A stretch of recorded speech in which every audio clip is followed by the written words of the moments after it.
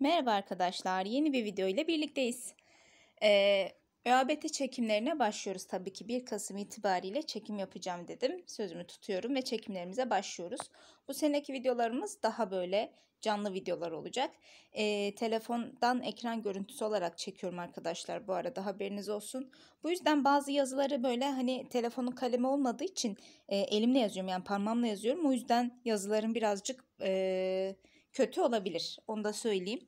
Ee, şimdi slayttan soruları, konuları işleyeceğimiz için daha kolay olacak benim açımdan açıkçası. Sizin için de zaten pdf'leri ekleyeceğim her e, videonun açıklama kısmına. Oradan alabilirsiniz, ulaşabilirsiniz. E, bunları tamamen daha önce de belirtmiştim zaten tanıtım videosunda. Campbell'dan hazırlıyorum arkadaşlar. Bu seneki sınavda gördük zaten 2022'de. Campbell'dan başka dostumuz olmadığını görmüş olduk. Soru çözümü olarak da şunu söyleyebilirim. Çıkmış sorulara bakacağız. Olimpiyat sorularını çözeceğiz arkadaşlar. Ee, soru bankası olarak da size şöyle öneri yapabilirim. Piyasadaki ÖABT kitapları tabii ki bizim için yeterli değil ama işte kendinizi geliştirmek için YGS, LYS kitaplarının eski basım özellikle YGS, LYS kitaplarını yine TET, AYT kitaplarını özellikle sistemler konusunda çözebilirsiniz. Çok iyi e, yetiştirecektir. Yani sizi açınızdan temel oluşturacaktır. Temeli olan arkadaşların zaten videoları izlemesi yeterli. Soruları rahatlıkla yapabileceklerini düşünüyorum ben. E, bu sene daha çok böyle detay geldi. Sistemler kısmında da daha çok detay geldi arkadaşlar. Dolayısıyla bütün konuları her detayına göre işleyeceğiz. Sıralamam Campbell'daki başlık sıralamasına göre olacak. E, size şeyleri paylaştım, konu başlıklarını paylaştım ama hani direkt oradaki başlıklar sadece e, Campbell'a göre değildi. Hani sadece konu başlıklarını yazmıştım arkadaşlar. Buradaki slaytlardaki başlıklarımız tamamen Campbell'a göre gidiyor. Ben sadece içinden böyle hikaye olan kısımlarını ayıkladım. Bir de bizim için e, daha anlaşılır hale getirdim diyeyim. Çünkü Campbell'ın dili biliyorsunuz biraz bilimsel. Bilimsel olduğu için tabii e, direkt aldığım e, cümleler var. Ama bazılarında kendi cümlelerimle yorumladım arkadaşlar. O şekilde anlatım yapacağız. İsterseniz hemen başlayalım. Şimdi canlılık ve incelenmesi. Aslında bu canlılık ve incelenmesi bizim işlediğimiz canlıların ortak özellikleri arkadaşlar. Canlılık ve incelenmesinden yani canlıların ortak özelliklerinden başlıyoruz. Öncelikle biyoloji nedir? Bundan başlayalım. Zaten hepimiz biyolojinin ne olduğunu biliyoruz. E, canlıları inceleyen bilim dalıdır. Arkadaşlar bizim canlıların e, ortak bir ataya sahip olduğu ve bunların birçok ortak özelliği bulunduğu söyleniyor. Peki nedir bu ortak özellikler? Bu ortak özelliklerden yola çıkarak her birini zaten başlıklar altında inceleyeceğiz. Nedir bu ortak özellikler? Bir ya da birden çok hücreden oluşurlar arkadaşlar canlılar. Bunu zaten hücresel yapı konusu altında gö- göreceğiz. Yine genetik bilgi taşırlar, kendilerini çoğaltırlar Genetik olarak akrabadırlar ve evrimleşmişlerdir. Çevrelerinden aldıkları molekülleri yeni biyolojik moleküllere dönüştürebilirler. E, nedir bu? Mesela protein sentezi bunun en iyi örneğidir arkadaşlar. Bizler işte yediğimiz besinlerin proteinlerini aldığımız zaman onların işte amino asitlerini ayırıyoruz. Bizim için o 8 tane amino asit vardı ya hatırlarsınız. Bizim için onlar temel amino asitti. Yani dışarıdan hazır olarak almak zorunda olduğumuz amino asitlerdi. Bunları alıyoruz. Ne yapıyoruz? Kendi proteinimizi sentezliyoruz. Dolayısıyla biz bunu dönüştürebiliyoruz. Çevrelerinden enerji alırlar ve bunları biyolojik iş için kullanabilirler arkadaşlar. Biz bu enerjiyi nasıl alıyoruz? Yediğimiz besinlerle alıyoruz çevremizdeki enerjiyi ve kendi iç ortamlarını düzenleyebilirler. Biz buna ne diyoruz? Homeostasi diyoruz. Homeostasi. Hepsini teker teker anlatacağız arkadaşlar. Şimdi bir de bazı canlılar var. Mesela bazı canlılar arkadaşlar bunları yapmasa da canlılık özelliği gösterebiliyorlar. Mesela virüsler. Bakın virüsler. Virüslere baktığımız zaman virüsler hücresel yapıya sahip değiller. Kendi fizyolojik işlerini yapamıyorlar. Mutlaka bir hücreye ihtiyaç duyuyorlar. Yani işlerini yapabilmek için mutlaka bir konakçıya ihtiyaç duyuyorlar ve e, bu özelliklerine baktığımız zaman aslında virüsün hani bir cansız varlık gibi düşünebilirsiniz. Mesela kendi işini yapamıyor, hücresel yapıya sahip değil ama bazı özellikleri de var ki e, bunu da diyorsunuz o zaman canlı. Mesela Virüsler genetik bilgi içeriyorlar, mutasyona uğruyorlar ve arkadaşlar virüsler evrimleşiyorlar. Mesela bizim şu an başımızda olan virüs değil mi? Artık gerçi hani çok fazla konu edinilmiyor ama koronavirüs. Koronavirüs bir sürü mutasyonu çıktı. Virüsler çok çabuk mutasyon uğurlarlar. Zaten ayrıca ders olarak da işleyeceğiz virüsleri. Ee, virüslere baktığımız zaman canlı ile cansız arasında bir geçiş formu olduğu düşünülüyor arkadaşlar. Ee, şöyle de deniliyor diyor ki bu özelliklere baktığımız zaman acaba virüsler ne yaptı? Hücresel formlardan mı evrimleşti? Hani bu şekilde de e, düşünülüyor tabii ki. Ama bunu e, şu an için bilemiyoruz. Evet virüslerle ilgili söyleyeceklerimiz bunlar tabii ki daha detaylı olarak söyleyeceğiz. Şimdi geliyoruz arkadaşlar. Hücrelerden bahsedeceğiz. Ne zaman keşfedildi? Şöyle kısaca bir bahsedelim hücrelerden. Prokaryotlardan, ökaryotlardan kısaca bir bahsedelim. Şimdi canlılığın temel birimi arkadaşlar hücreler. Ee, bazı hücreler bazı canlılar tek hücrelidir, bazıları ise arkadaşlar çok hücrelidir. Özellikle çok hücreli olanlarda farklılaşmalar görülür. Mesela hücreler e, farklılaşarak farklı işleri yapabiliyorlar. Bizlerde olduğu gibi. Mesela milyonlarca hücreler, hücreden oluşuyoruz ama her birinin görevi farklıdır. Peki hücrenin keşfi nasıl e, gerçekleşti? Arkadaşlar hücrenin keşfi mikroskobun bulunmasıyla mümkün oldu. 1590'lı yıllarda gerçekleşti bu olay. 1600'lü yıllarda Leeuwenhoek ve Robert Hooke ne yapıyor arkadaşlar? E, mikroskobu geliştirerek canlıları incelemek için kullanıyor. Ve Leeuwenhoek havuz suyunda bir hücreli canlılara bakıyor arkadaşlar. Robert Hooke ise bitkileri inceliyor. Bitkileri incelerken de boş odacıklara denk geliyor. Bu boş odacıklara selula ismini veriyor arkadaşlar. Zaten boş odacık anlamında kullanılıyor. Daha sonra bu selula hücreye dönüştürülmüştür. Yani hücre ismi verilmiştir. Daha sonra arkadaşlar yine Leeuwenhoek ishal bir bireyin dışkısını incelemiş ve orada küçük hayvanlar dediği bakterileri keşfetmiştir. Aslında size şunu söyleyeyim. Ee, Bunlardan çok çok önce İbn Sina değil mi duymuşsunuzdur. İbn Sina arkadaşlar e, tıbbın babası olarak biliniyor. İbn Sina e, şöyle bir söz kullanmış. Demiş ki bizim içimizde bir kurt var. O kurt bizi kemiriyor ama biz bunun farkında değiliz ve gözle göremiyoruz. Aslında bunu söylerken e, bakterilerden bahsetmiştir. Çünkü hani bunların varlığını biliyor ama sadece ispat edemiyor. Neden? Çünkü o zamanın şartlarına bakıldığı zaman işte mikroskop yok, onu inceleyebilecek herhangi bir şey yok. Dolayısıyla sadece bunu söylüyor. Tabii kanıtlar olmadığı için de işte ilk bulanlar da tabii ki değişmiştir arkadaşlar. Mesela Leeuwenhoek bakterileri keşfetti diyoruz ama Leeuwenhoek'tan önce tabii ki ibn Sina böyle bir keşif yapmış. Sadece ne yapamamış? Ee, kanıtlayamamış. Gelelim diğer slaytımıza. Bundan sonra ne oluyor peki? Bundan sonra arkadaşlar Alman biyolog olan Schleiden ve e, Belçikalı Theodor Schwann dediğimiz bilim insanları 1838 yılında bitki ve hayvanları karşılaştırıyorlar. Bunlardaki temel elemanların aynı olduğunu görüyorlar ve hücre teorisini ortaya atıyorlar. Şimdi hücre teorisi eski zamanlarda farklı, şimdi başka şeyler de eklenmiştir üstüne. Hücre teorisine göre diyor ki Tüm canlı organizmaların temel yapısal ve fizyolojik birimleri hücrelerdir diyor. Tamam biz bunu biliyoruz. Zaten bizim en küçük yapı taşımız ne? Hücre. Hücreden daha küçük olanlar var. Tabii ki hücrenin içerisinde bulunan işte organeller falan var ama bunlar tek başına canlılık gösteremiyor. Hücre dediğimiz bir e, organizasyon içinde olması lazım. Daha sonra diyor ki hücreler hem tek başlarına var olan birimler hem de daha kompleks organizmaların yapısal birimleridir. Yani burada demek istiyor ki hücreler tek başına da yaşayabilir, tek hücreli canlılar gibi ya da bir araya gelip daha kompleks organizmaları da oluşturabilir diyor. Buna bağlı olarak şöyle şeyler çıkıyor arkadaşlar. Şimdi bilim insanları hücrelerin cansız materyallerin kendiliğinden bir araya gelmesiyle ortaya çıktığına inanıyorlar. Yani diyor ki cansız maddeler bir araya geldiler ve hücreler ortaya çıktı. Şimdi o dönemde yaygın olan bir sonuç e, şey var. E, araştırma var arkadaşlar. Nedir bu araştırma? Kendiliğinden oluşma veya spontan jenerasyon dediğimiz bir görüş var arkadaşlar. Bu görüşe de uyumlu olduğu için o zamanlarda bu kabul ediliyor. Neydi bu görüş? Canlıların cansızlıklardan kendiliğinden ortaya çıktığını öneren bir görüştür arkadaşlar. E, ve bu görüşe de daha uygun olduğu için söyledikleri şey. Dolayısıyla o dönemlerde kabul görüyor. Sonraki yıllarda tabii ki bu çürütülüyor.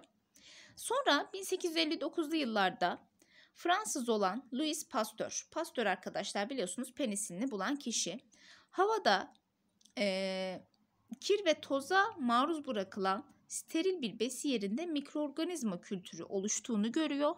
Ama hava ile temas etmeyen başka bir steril besi yerinde üreme olmadığını göstermiş.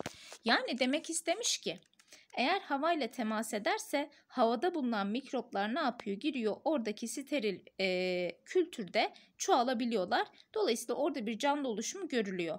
Ama havayla hiç temas yok. Tamamen steril bir ortam. Orada üreme yok. O zaman canlılar cansızlardan kendiliğinden ortaya çıkmadı demiş. Böylece arkadaşlar e, Pasteur'ün bu deneyi canlıların aslında daha önceki canlılardan oluştuğunu destekliyor. Yani diyoruz ya hani biz bir hücre daha önceki bir hücrenin bölünmesi sonucunda ortaya çıkar diyoruz ya aslında Louis Pasteur ne yapmış? Bunu ortaya koymuş. Bundan sonra ne oluyor peki? Bundan sonra arkadaşlar birçok şey değişiyor ve hücre teorisine bazı eklemeler yapılıyor. Şimdi o eklemelerle birlikte tamamen söyleyelim. Diyor ki hücreler daha önce var olan hücrelerden oluşur. Evet burada mitoz mayoz bölünmeden aslında bir miktar bahsetmiş. Sonra diyor ki tüm hücreler kimyasal açıdan benzerdir diyor. Yani e, hücrelere baktığımız zaman işte organel bakımından olsun, e, kimyasal açıdan olsun birbirine benzerdir diyor. Canlılardaki kimyasal tepkimelerin e, çoğu diyor hücrelerdeki sulu çözeltilerde gerçekleşir. Yani sitoplazmanın varlığından aslında burada bahsediyor. Hücre bölünmesi sırasında genetik bilginin tümü e, ileriki nesillere aktarılır. Yani eşlenir ve e, aktarılır demek istiyor arkadaşlar. Burada replikasyondan bahsediyor. Bir de diyor ki virüsler hücresel yapıdan yoksundur ama e, hücresel organizmalara bağımlıdırlar diyor. Yani bir virüsün çoğalabilmesi için başka bir hücrenin içerisine girmesi şarttır diyor arkadaşlar. Ve böylece bir hücre teorisi ortaya atılmıştır. Bu dönemlerde de zaten bu hücre teorisi kabul görüyor. Peki o dönemlerde ne oluyor? Bir de Darwin dediğimiz, Charles Darwin dediğimiz bir bilim insanı ne yapıyor? Canlıların nasıl evrimleştiğini anlatıyor arkadaşlar ve evrimleşme yoluna gidiyor. Şimdi bu evrimleşme olayından bahsedeceğiz. Bu arada bir şey söyleyeyim arkadaşlar. Şimdi telefondan hani ekran görüntüsüyle çekim yaptığım için arada böyle aramaları falan görebilirsiniz. Kusura bakmayın. Evet diyor ki tüm canlılar ortak bir evrimsel tarihi paylaşır. Şimdi birazcık da evrimden bahsedeceğiz aslında. Yani bu slaytı şey olarak düşünebilirsiniz bu videomuzu. Hani iş, sonraki işleyeceğimiz konuların önceden bir bilgilendirmesi olarak mesela evrimi de böyle detaylı olarak işleyeceğiz değil mi? Diyor ki Darwin o zamanlarda türge, türlerin kökeni dediğimiz bir kitabı yayınlıyor arkadaşlar. Bu arada e, ben önceki videolarımda size türlerin kökenini okuyacağım demiştim ama bitiremedim. Niye biliyor musunuz? Çünkü böyle çok böyle dili bana şey geldi. Ben biraz daha akıcı kitapları seviyorum. O yüzden türlerin kökenini pek hoşuma gitmedi açıkçası okuyamadım. Ee, şimdi bizim bölümümüzü de ilgilendiriyor ama hoşuma gitmeyince de böyle okumak istemiyorum. O yüzden de yarıda bıraktım. Eğer okuyanınız varsa e, mutlaka güzel bilgiler yazıyordur tabii ki. Şimdi Türlerin Kökeni adlı kitabını 1859 yılında yazıyor arkadaşlar ve burada tabii ki birçok şey ortaya atıyor. Öncelikle doğal seleksiyon dediğimiz bir terim ortaya atıyor arkadaşlar. Nedir bu terim? Diyor ki bir popülasyondaki canlılar, bu arada popülasyon nedir? Popülasyonu ilk önce bir e, bilmeyenler için söyleyelim.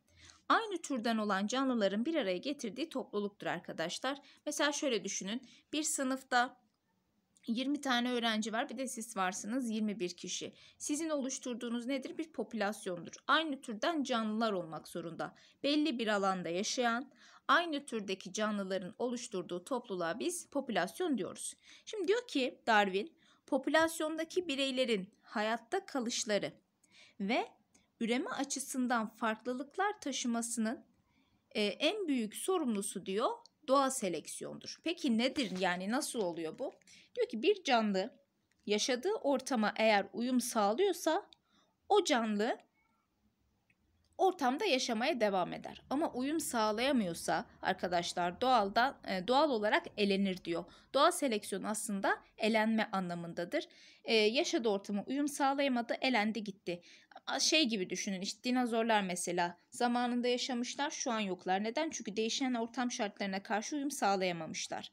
Dolayısıyla doğal seleksiyon e, onlar için gerçekleşmiştir. Yani böyle bir terim atıyor arkadaşlar ortaya. E, sonra da tür kavramının temellerini oluşturmuş oluyor. Özellikle bizim şu an kullandığımız tür tanımı oldukça önemlidir arkadaşlar. Nedir bu tür tanımı? E, ortak bir atadan gelen, fizyolojik ve morfolojik olarak birbirine benzeyen, daha sonra çiftleşebilen ve çiftleştiklerinde en önemli kısım bu verimli döller oluşturabilen yani kısır olmayan döller oluşturabilen canlılara biz tür diyoruz. Mesela iki insan bir türdür, aynı türdür. Veya işte ev kedileri aynı türdür. Yani zaten sınıflandırma kısmına gelince bundan daha detaylı olarak bahsedeceğiz. Ee, doğal seçilimi yani doğal seleksiyon dediğimiz olayı anlattıktan sonra açıkladıktan sonra bir de adaptasyondan bahsediyor. Şimdi burada da adaptasyonu göreceğiz. Arkadaşlar diyor ki bir canlının hayatta kalıp üreyebilmesi için doğal seçilim olur ve doğal seçilim sonucunda da canlılar olaya oraya adapte olurlar. Yani uyum sağlarlar. Bu olay adaptasyonlara yol açar diyor ve adaptasyonun da aslında ne yapmış oluyor? Bir nevi tanımını yapmış oluyor. Ee, adaptasyonlar arkadaşlar üreme şansını artıran, hayatta kalma şansını artıran fizyolojik ya da davranışsal özelliklerdir ve kalıtsaldır adaptasyonlar. Yani sonradan gelişen bir şey değildir. Kalıtsaldır. Bunu da söylemiş olalım arkadaşlar.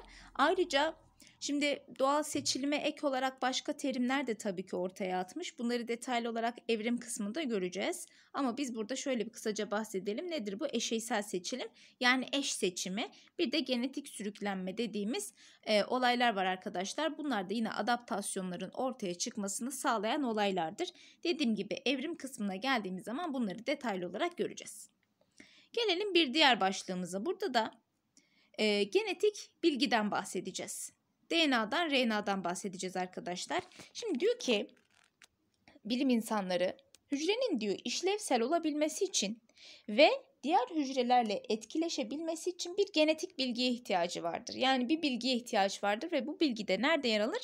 Genomunda yer alır. Genom nedir? Genlerin tamamı. Bir canlıda bulunan genlerin tamamına biz genom diyoruz. Genomunda yer alır diyor. DNA molekülü var. DNA molekülünden bahsediliyor burada. Ve bu DNA molekülü nükleotit dediğimiz birimlerin dizilerinden oluşuyor. DNA'dan zaten bahsederken hani anlatırken yine burada nükleotitlerden de bahsedeceğiz arkadaşlar.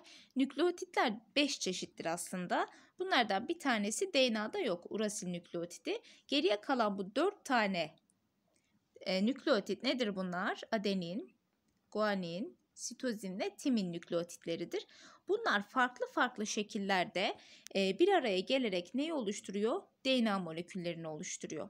Nükleotitlerin dizilimi arkadaşlar genetik bilgiyi içeriyor. Yani bunun bu şekilde olması yani adenin, guanin, sitozin, timin şeklinde olması veya tam tersi mesela timin, sitozin, guanin, adenin şeklinde olması her canlının birbirinden farklı olmasını sağlamıştır. Mesela insanlar için şöyle bir şey söyleyeyim. Bizim genlerimiz mesela şu an dinleyen arkadaşım seninle benim genetik bilgimiz %99 birbirine benziyor. %99 aynı. Bizi birbirimizden farklı kılan şey o yüzde birlik kısım. Bakın yüzde birlik bir kısım bile bizim birbirimizden çok çok farklı olmamıza sebep olmuştur. Dolayısıyla DNA molekülü bizim için çok çok önemlidir. Bir de DNA'nın üzerinde arkadaşlar gen dediğimiz bölgeler vardır. Bu bölgelerde e, protein sentezi için kullanılan genetik bilgiyi kodlayan parçalardır, özgül parçalardır. Her bir protein için farklı bir gen bölgesi vardır ve bu genler DNA'nın üzerinde bulunur. Yine bundan da bahsetmiş olalım. Peki diyelim ki bir genin dizisinde, nükleotit dizisinde herhangi bir değişiklik oldu. Biz bu olaya ne diyoruz? Mutasyon diyoruz. Mutasyon. Oldukça önemlidir mutasyon. Mutasyonlar eğer üreme hücrelerinde meydana gelirse ileriki nesillere aktarılır ama vücut hücrelerimizde meydana gelirse arkadaşlar sadece bizlerde görülür. Yavrularımıza aktarılmaz. Evet mutasyonlardan da böylece bahsetmiş olduk. Şimdi gelelim metabolizma kısmına. Arkadaşlar bizler enerji sağlayabilmek için ve yeni yapılar kullanmak için, e, yeni yapılar oluşturmak için besinleri kullanıyoruz. Nasıl yapıyoruz bunu? Şimdi bazı canlılar var kendi besinini kendi üretiyor. Bazıları da var çevreden hazır olarak alıyorlar. Kendi besinini kendi üreten canlılara biz ototrof canlılar diyoruz. Ototrof canlılar bakın ototrof. Nedir bu canlılar? Şuradaki otomatikten gelsin aklınıza. Kendi besinini kendi üreten canlılardır ototrof canlılar. Bir de besinini dışarıdan hazır alan canlılar vardır arkadaşlar. Bunlar da heterotrof canlılardır. Heterotrof canlılar e, besinini dışarıdan hazır alan bizim gibi canlılardır. Peki biz bu besinleri alıyoruz ne yapıyoruz? Bu besinleri biyokimyasal tepkimelerle parçalıyoruz ve besinlerdeki enerjiyi açığa çıkarıyoruz arkadaşlar. Biz bu olaya da hücresel solunum diyoruz. Hücresel solunum kendi içerisinde iki şekilde oluyor. Oksijensiz solunum bir de oksijenli solunum şeklinde arkadaşlar. Ee, yine bunların da detaylarını göreceğiz tabii ki. Peki biz bu olayları vücudumuzda hücrelerimizde gerçekleştiriyoruz ama bu kimyasal dönüşümler neyi oluşturuyor? Bizim metabolizmamızı oluşturuyor arkadaşlar. Metabolizmayı çok duymuşsunuzdur. Metabolizmanız yavaş çalışıyor. Metabolizmanız hızlı çalışıyor. Bu yüzden kilo alamıyorsunuz falan filan. E, metabolizma bizim hücrelerimizde gerçekleşen kimyasal olayların tamamıdır. Ve metabolizma iki tane olaydan oluşuyor. Bunlardan bir tanesi anabolizma, yapım olayı, diğeri de katabolizma arkadaşlar, yıkım olayıdır. E, yapım olaylarına örnek olarak biz sentez olaylarını veriyoruz. Sentez. Nedir bunlar? Biyosentez olayları dediğimiz işte protein sentezi, fotosentez, kemosentez. Yani aslında sonunda sentez geçen her şeyi biz anabolizmaya yazabiliriz ama tek bir sentez hariç. Nedir bu? ATP sentezi. Şimdi bunda da ATP sentezinde de sentez kelimesi geçiyor ama ben bunu anabolizmaya alamıyorum. Çünkü biz ATP'yi neyin sonucunda üretiyoruz? Solunum sonucunda. Solunum nedir? Bir yıkım olayıdır. Çünkü ben besini ne yapıyorum? Yıkıp içindeki enerjiyi açığa çıkarıyorum. Dolayısıyla ATP sentezi derse bu bir anabolizma değil nedir? Katabolizma olayıdır, yıkım. Çünkü ATP'yi ben hücresel solunum sonucunda üretiyorum. Hücresel solunumda bir yıkım olayıdır. Yine yıkım olayına başka örnekler verebiliriz. Mesela hidroliz, sindirim olayları gibi olaylarda arkadaşlar bizim e, katabolizma yani yıkım olaylarımızdır. Evet, gelelim homeostasiden birazcık da bahsedelim. Arkadaşlar homeostasi canlılardaki iç ortamın, iç dengenin e, düzenlenmesidir homeostasi dediğimiz olay. Peki homeostasi nasıl sağlanıyor arkadaşlar? E, bizim hücrelerimizin hem içinde hem de dışında sıvılar yer alıyor. Hücrenin içerisinde olan sıvıya biz zaten sitoplazma diyoruz. Hücre dışında bulunan sıvılar da arkadaşlar bu dokular arasında bulunan doku sıvısı dediğimiz kısımdır. Şimdi bizler çok hücreli bir canlıyı düşünün. Çok hücreli bir canlı e, hücrelerdeki besinleri nasıl alıyor arkadaşlar? Mesela şurada, şurada bir sürü hücremiz var. Bunların aralarında da ne var? Doku sıvısı var. Hücre ihtiyaç duyduğu besini hemen buradaki doku sıvısından alıyor kendisine. Atığını da arkadaşlar yine buradaki doku sıvısına bırakıyor. İşte bu e, olaylar sayesinde metabolik atıklar hem vücudundan yani hücreden uzaklaştırılmış oluyor hem de hücre sadece ihtiyaç duyduğu kadarını almış oluyor. Böylece bir homeostasi yani denge dediğimiz olay gerçekleşiyor arkadaşlar. Bu olaya ne diyormuşuz? Homeostasi diyormuşuz. Homeostasiden sonra da şundan bahsedelim. Organizasyon dediğimiz bir olay var. Şimdi bir de şunu söyleyeyim arkadaşlar. Şimdi bu hücrelerde özelleşmeler ortaya çıkıyor ya. Özelleşme ortaya çıktığı anda e, hücreler birçok özelliğini kaybediyor. Mesela bir hücreli bir canlı birçok işlevi bir arada yapabilirken çok hücreli canlılarda arkadaşlar iş bölümü olduğu için birçok hücre bu tamam bütün e, işlerin tamamını yapma özelliğini kaybetmiş. Yani biraz karışık anlattım ama şöyle söyleyeyim. Mesela bir bitkiyi düşünün. Normalde tek bir bakteri hücresi siyanobakteri fotosentezini yapabiliyor. Solunumunu kendisi yapabiliyor. İşte dışarıdan işte besin alabiliyor, üretebiliyor falan filan. Bunların hepsini tek başına yapabiliyor. Ama bitkiye baktığım zaman bitki çok hücreli mi? Evet. Bitkinin fotosentez için e, farklılaşmış hücreleri var mı? Var. Yapraklarda bulunan mezofil hücreleri değil mi? İşte sünger parenkiması, parizat parenkiması, stoma hücreleri bunlar fotosentez yapıyorlar. Dolayısıyla ne yaptı bakın? Sadece bu üç hücre tipi fotosentez yapabilirken diğerleri yapamıyor. Dolayısıyla e, yaptığı işlevleri kaybetmiş oldular arkadaşlar. Böylece iç çevreye bağımlı hale gelmiş oldular. Yani hücreler e, gereksinimlerini karşılayabilmek için ne yapıyorlar? İç çevreye bağımlı hale geliyorlar. Şimdi özelleşmeden bahsettik, homeostasiden bahsettik. Peki bu özelleşme gerçekleşirken nasıl gerçekleşiyor?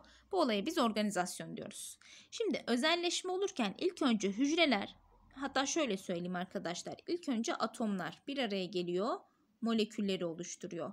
Daha sonra bu moleküller bir araya geliyor, organelleri oluşturuyor. Bu organeller de bir araya geliyor. Neyi oluşturuyor? Hücreyi oluşturuyor. Buraya kadar anlattığım kısım tüm canlılarda ortak. Buradan sonrası ise hücreler bir araya gelir. Neyi oluşturur? Dokuları. Dokular organları, organlar sistemleri, sistemler de organizmayı oluşturuyor.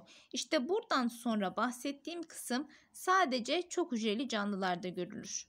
Yani sistemleşme olayı hatta e, sistemleşme mesela bazı hayvanlarda yok.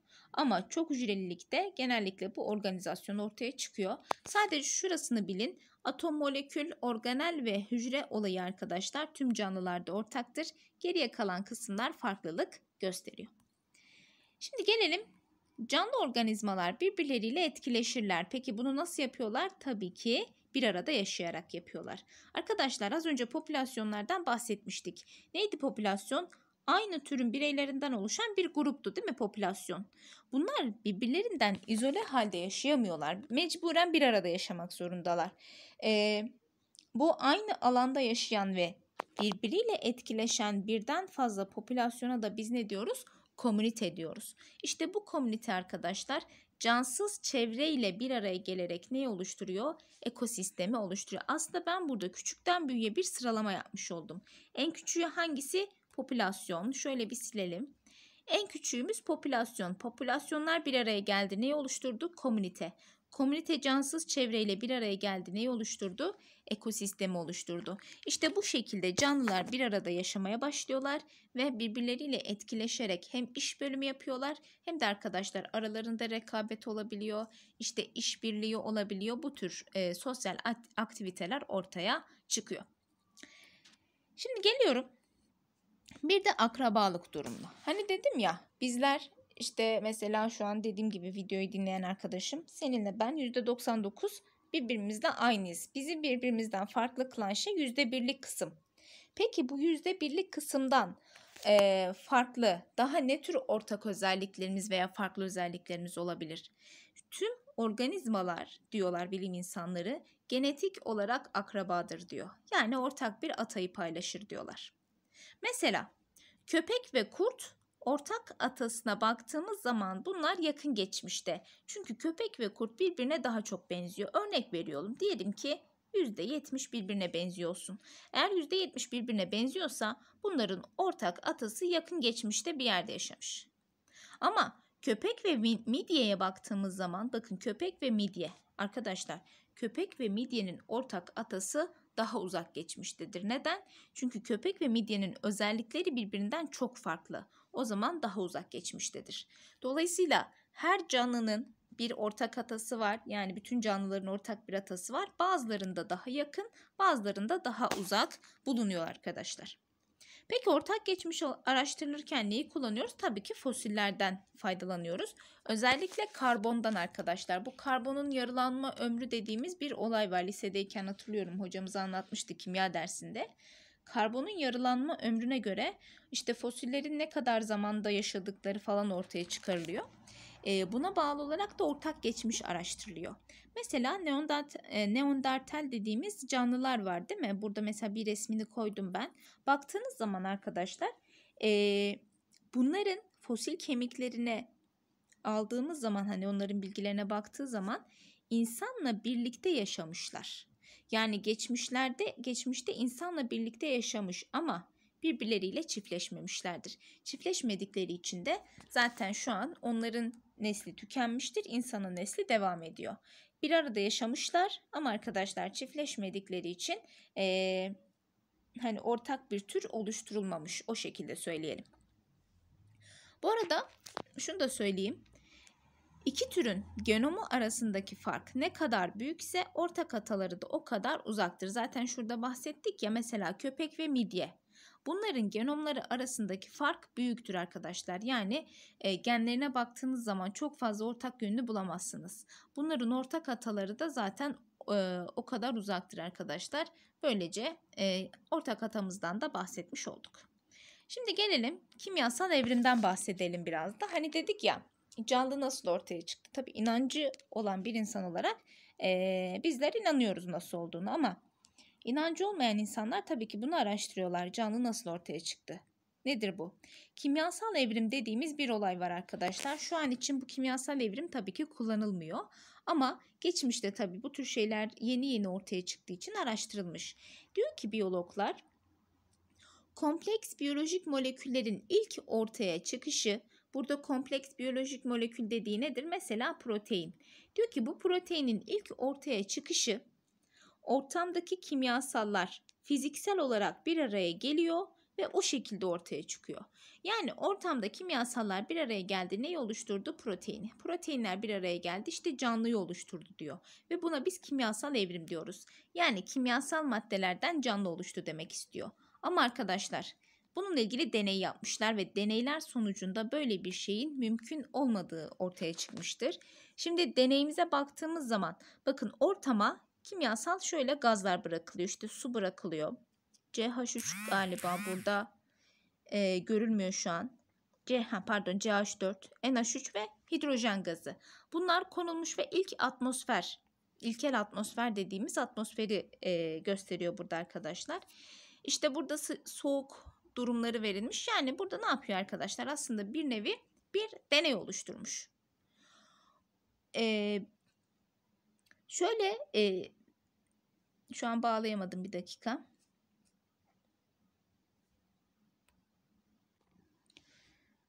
Kendimi toparladım geldim. Şimdi kafam dağıldı bir anda. Şimdi bunları ortaya koydukları zaman böyle bir deney düzeni hazırladıkları zaman tabii ki canlının ortaya çıkmadığını görüyorlar arkadaşlar ve böylece kimyasal evrimden de vazgeçmiş oluyorlar. Evet şimdi gelelim hücresel yapı canlıların ortak atasında evrimleşmiştir diyoruz. Nedir bu? Bunu birazcık açıklayalım.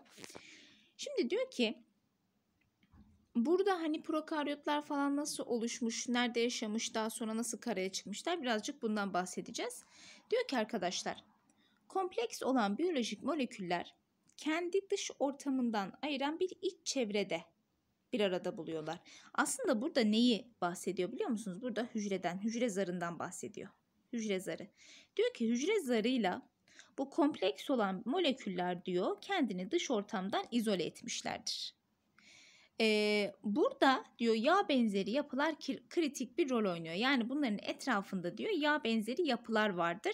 Bunlar niçin? Suda çözünmedikleri için. Yani çünkü su kolaylıkla hani suyun özelliklerinden bahsedeceğiz. Suyun en önemli özelliği özelliklerinden birisi çözücü olması. Yağlar da suda çözünmediği için diyor ki yağ benzeri moleküller bunların etrafını sarıyor ve bunları koruyor. Dış ortamdan ayırıyor ve bir iç çevre oluşturuyor.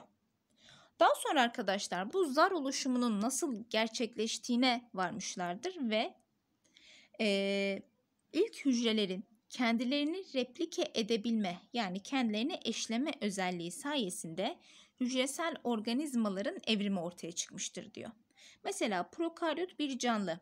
İşte kendisini replike ede ede mutasyonlar gerçekleşe gerçekleşe ökaryotlar oluşmuştur. Mesela bundan bahsetmeye çalışıyor.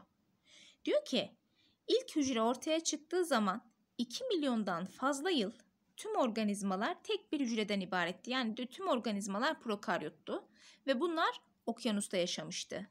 Neden okyanusta? Çünkü o dönemde atmosferde çok az oksijen vardı ve ozon tabakası yoktu diyor. Ozon tabakası olmadığı için okyanuslar bu prokaryot canlıları korumuştur. Çünkü suyun içerisinde oldukça korunaklı bölgede bulunuyorlar. Peki sonrasında ne oldu? Sonrasında arkadaşlar fotosentez dediğimiz bir olay ortaya çıktı ve fotosentez evrimin yönünü değiştirdi. Normalde ilk prokaryot olan hücreler enerji sağlayabilmek için doğrudan çevrelerindeki molekülleri almış. Yani ilk önce heterotrof beslenme ortaya çıkmış. İlk zamanlarda hani dediğimiz gibi canlılığın ilk dönemlerinde atmosferde oksijen yoktu diyoruz ya.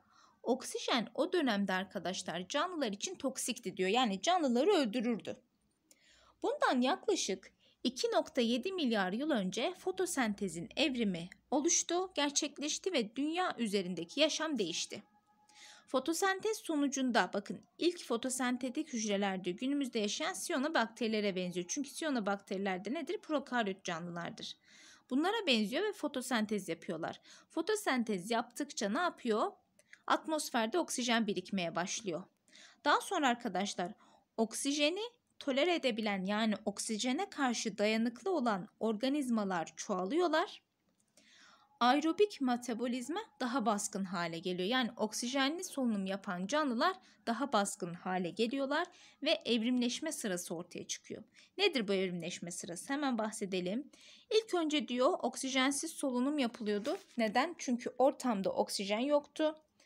Var olan oksijen de toksik etki yaratıyordu. Daha sonra fotosentez evrimleşti. Yani evrim sonucunda fotosentez ortaya çıktı.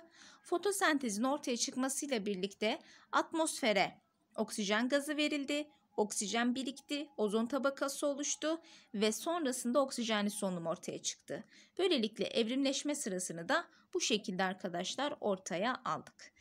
Atmosferdeki oksijen yani oksijenin artması sonucunda da canlılar ne yapmaya başladı? Karaya yerleşmeye başladılar arkadaşlar.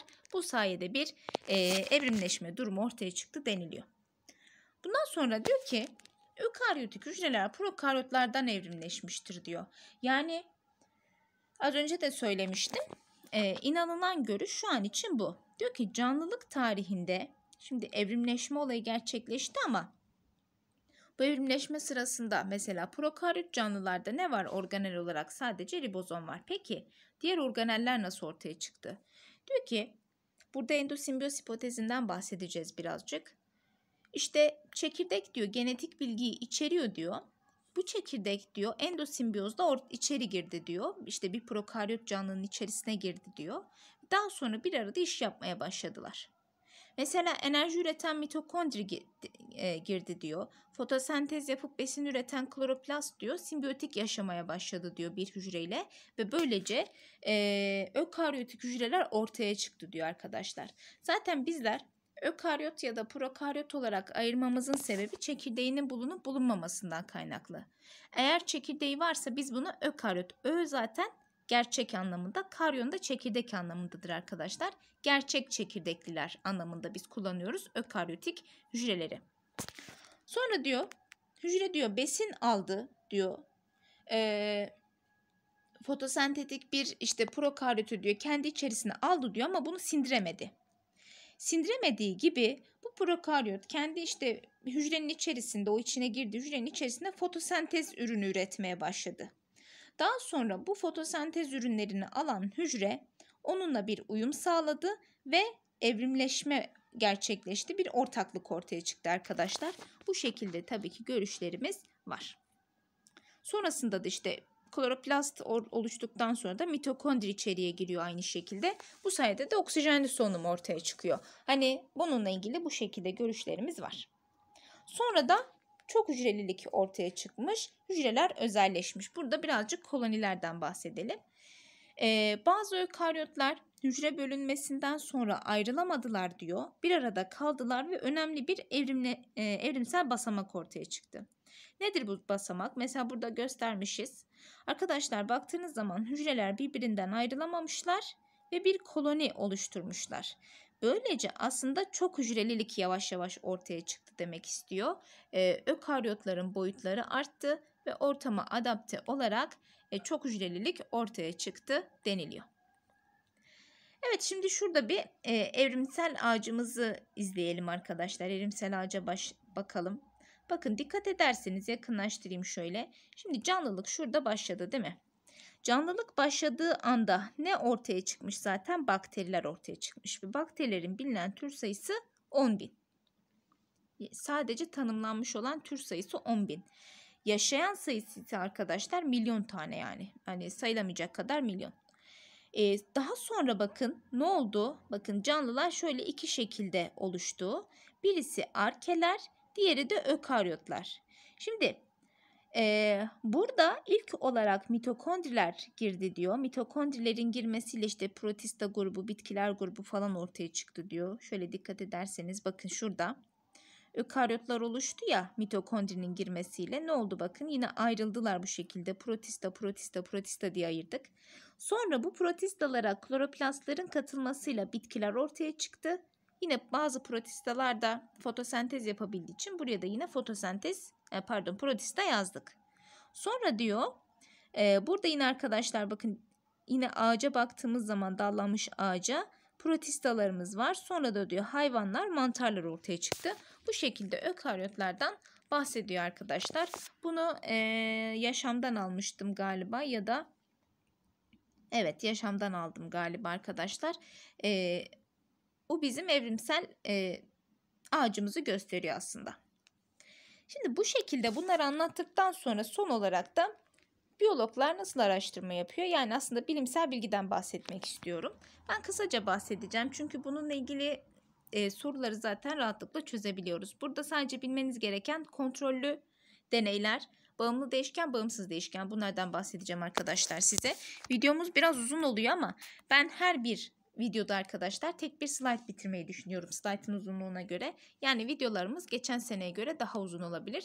Ee, söylemiş olalım. Şimdi nasıl araştırıyoruz? İlk önce kesinlikle iyi bir biyoloğun çok iyi bir gözlem yapması lazım. Sonra gözlemler yaptıktan sonra benim kendime sorular sormam lazım. Yani bu neden böyle? Nasıl oldu? Nasıl oluştu falan. Zaten eğer bu sorular sorulmasaydı şu an belki de bilim hani bu kadar ilerlemiş olmayacaktı. Daha sonra bizim soruyu cevaplamamız için bir hipotez oluşturmamız lazım. Yeni sorular ekleyeceğiz hipoteze daha sonrasında. Hipotezi oluşturduk ve bir tahmin yaptık. Eğer hipotezim doğruysa başka neler olabilir? Bununla ilgili bir tahmin yaptık arkadaşlar ve bu tahminleri ölçebilecek testler ve deneyler uyguladık. Daha sonra ben bu deneylerin sonuçlarına bakıyorum. Eğer deneylerimin sonucu e, hipotezi destekliyorsa arkadaşlar bakın hipotezi destekliyorsa o zaman deneyler tekrarlanıyor sonuçlar başka araştırıcılar tarafından doğrulanıyor. Ayrıca yeni sorular soruyorum tekrardan hipotezde başka bir hipotezde oluşturabilirim. Ama genellikle ne yapıyor? Hipotez sonuçlar hipotezi destekliyorsa deneyleri tekrarlıyorum aynı sonuçları elde ediyorsam başka bilim insanları da tabii ki bunu doğruluyor ve bu şekilde arkadaşlar benim sorduğum soru e, hipotez sonucunda teoriye ya da kanuna dönüşmüş oluyor. Bu arada e, biyolojide kanun çok fazla yok. Genelde teoriler var. Sonra geliyorum. Eğer benim sonuçlarım hipotezi desteklemiyorsa bu sefer ne oluyor? İki şey yapabilirim. Ya kontrol edilmeyen değişkenleri gözden geçirmem için yeniden bir deney tasarlarım. Tekrardan bu döngüyü devam ettiririm. Ya da arkadaşlar hipotezim doğru değildir hipotezi yeniden kurarım. Bu şekilde bizler ne yapıyoruz? Kontrollü deneyler yaparak yeni araştırmalar ortaya atıyoruz. Peki kontrollü deneyler yaptığımız zaman bağımlı ve bağımsız değişken dediğimiz değişkenler ortaya çıkıyor. Mesela diyelim ki bir bitki üzerinde araştırma yapalım. Şöyle 3 tane saksımız olsun. Burada tabii ki bitkilerimiz var. Aynı özellikte, toprak özellikleri aynı. Sadece benim değiştireceğim bazı şeyler var. Şimdi ortamdaki sıcaklıklar aynı. Sıcaklığı değiştirmiyorum. Toprak yapısı aynı. Bitkilerin türü aynı. Bakın her şey aynı. Birincisini ben kontrol grubu olarak ortaya koyuyorum. Neden? Çünkü deney yaptığım zaman bununla karşılaştıracağım. İkincisine getirdim. Mesela diyelim ki kalsiyumun bitki büyümesi üzerine etkisini araştırıyor olalım. İkinci bitkiye getirdim 0,5 miligram kalsiyum verdim. Üçüncüye getirdim arkadaşlar 1 miligram kalsiyum verdim ve bunların e, büyümesini kontrol ediyorum şu an. Peki burada benim bağımsız değişkenim ne oldu? Bağımsız değişken benim değiştirdiğim kalsiyum miktarı oldu. Bakın bağımsız değişken budur. Bunu ben değiştiriyorum çünkü ben buraya 1 miligram değil de 2-3 miligram da verebilirim. Ben değiştirebildiği için ben bu değişkene ne diyorum? Bağımsız değişken diyorum. Peki kalsiyum miktarına bağlı olarak büyüme nasıl etkilendi? Bakıyorum mesela 0,5 miligram kalsiyum verdiğim bitki çok güzel büyüdü. Boyu falan gayet kontrol grubuna göre daha uzun oldu. Daha iyi yaprak oluşturdu. 1 miligram verdiğim kalsiyum hani iyi gelişti ama 0,5 kadar değil. O zaman buradaki bağımsız değişkene bağlı olan değişken ne oluyor? Yani bizim bağlı değişkenimiz ne? Bağımlı değişken ya da bağımlı değişkende bitkinin boyu olmuş oldu arkadaşlar. İşte bağımlı ve bağımsız değişken bu şekildedir. Unutmayın bağımsız değişken üzerinde bizim oynama yapabildiğimiz değişkendir. Bakın ben buradaki kalsiyum miktarlarıyla oynama yapabiliyorum. Bağımlı değişken ise benim burada bağımsız değişkene göre değişen değişkendir. Yani kalsiyum miktarına göre boy ne yaptı? Değişti. O zaman bu nedir? Bağımlı değişkendir. Bunları genelde eğitim kısmında soruyor. Eğitim e, alan eğitimi kısmında. Mesela bu sene vardı bununla ilgili bir soru. Bağımlı değişken, bağımsız değişkenle ilgili bir soru vardı arkadaşlar. Yine eğitim bilimlerinde de yanlış hatırlamıyorsam böyle bir soru vardı. Yani bağımlı ve de bağımsız değişkeni birbirinden ayırt edebiliyorsanız zaten bilimsel bilgiyle ilgili çok fazla da sorulabilecek soru yok. Bu şekilde sorular çıkabilir karşınıza. Evet böylece ilk konumuzu bitirmiş olduk. Yaşamın çalışılması bundan bahsetmiş olduk arkadaşlar. Şöyle tekrardan bir başlığımızı açalım. Evet canlılık ve incelenmesinden bahsettik. Sonraki videomuzda nereye geçiyoruz? İnorganik bileşiklere geçiyoruz. Sonraki videomuzda görüşmek üzere. Hoşçakalın.